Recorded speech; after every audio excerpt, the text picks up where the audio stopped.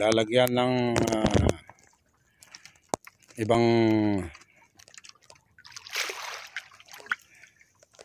kain yung kan fishing rod.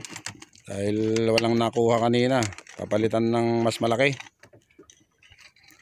Masyadong malaki yan. Pang malaking isda na yata yan.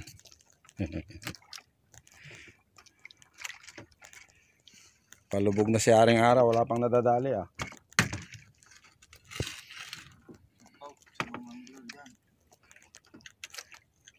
Shout, shout out sa mga YouTubers. Sa kay Renan Tiquerero. Kay Ryan Manuel sa kay Arnel Ablen. Sana makahuli kayo ng pangpulutan natin.